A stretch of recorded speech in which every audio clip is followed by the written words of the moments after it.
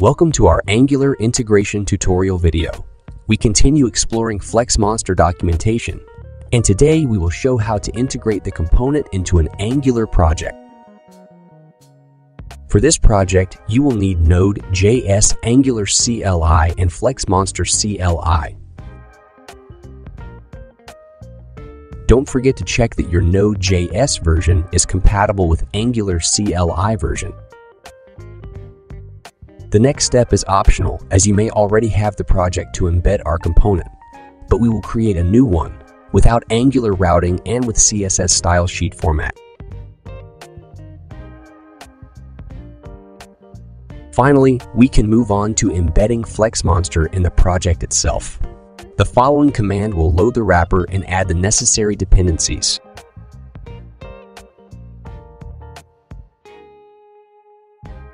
Open the project in an IDE convenient for further work and import FlexMonster module to the TypeScript module file.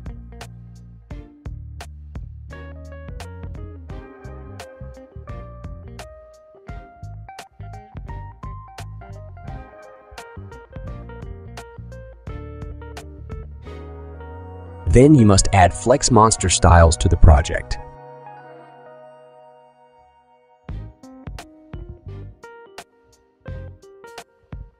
Insert fmpivot directive to the HTML file.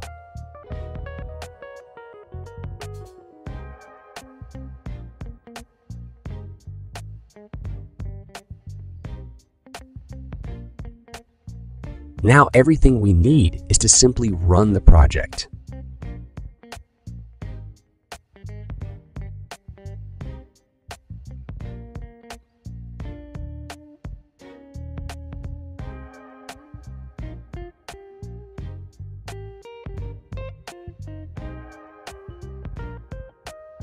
You can play with the embedded pivot table, load your own dataset, change slice, and set the report you need. Filter the data by labels and values and sort them in any direction.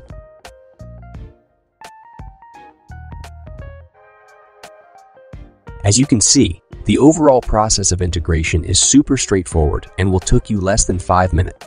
Further adjustment of the pivot will depend on your needs and requests. Examples of the most frequent customizations are given in our documentation. In addition, you can install a sample project with all of them on your computer and see how they are arranged inside.